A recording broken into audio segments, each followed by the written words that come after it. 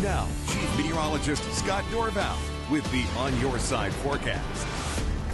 All right, take a look at the forecast temperatures. Uh, tell you what, it's been warming up slowly but steadily. A lot of melting going on after snow this morning. About a half inch of snow in South Boise. Had a report of about an inch down towards uh, the uh, right along the Snake River here, generally near Grandview, and then points to the east, maybe an inch, generally a coating, and then further to the west, next to nothing. So we had that light snow, but as expected, with the temperatures warming to near 40, we've had a lot of melting going on. Some snow showers flying in the mountains. In fact, snow continuing to fly in the Hailey Sun Valley area right now, five inches at Baldy, and still coming down. So there are the snow showers. Elmore County, you see some to the south here. Overnight tonight, we do have to watch out for the chance for slick spots on the interstate southeast of Boise from Mountain Home to Twin Falls until this storm system finally lifts its way on out to the north and to the east. The only advisories now up in east portions of Idaho, uh, the upper Snake Highlands, uh, west of Idaho Falls, so the higher elevations up into western Montana. Nothing to the west. Out of the south, we have some advisories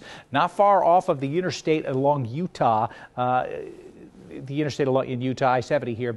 Generally speaking, this is mountain locations, but some travel to Nevada is not so bad. But Utah, we still have that issue with the snow tracking up with the major part of the storm system here. Drier weather to the west. That'll be coming in, and the travel forecast the next couple of days looks really nice. But from this point on through the evening through early tomorrow morning, there's still a chance of some snow showers in the mountains and the higher elevations to the south. So over any mountain passes, just keep in mind some slick roadways, especially after the sun goes down tonight. We've got colder air coming in and so when the sun goes down tonight, here we are going below freezing for the first time in a long time, many, many days in the Treasure Valley. So fog is likely to form. Icy spots could form on untreated roadways that are still moist. Overnight tonight, they'll get a little icy and frosty. In the morning, mostly cloudy. Then uh, Thursday and Friday, staying dry, probably through the weekend. Much colder, low temperatures in the 20s.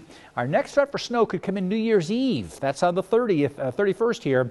And you see 39 uh, degrees for high temperatures. So it could be some snow in the morning, maybe some rain in the afternoon. And for the ski areas, this could be a good sized storm system. Let's hope it comes on in because it's dry until then. Weekend forecast looks dry. That's my latest forecast. I'll have another update coming up shortly.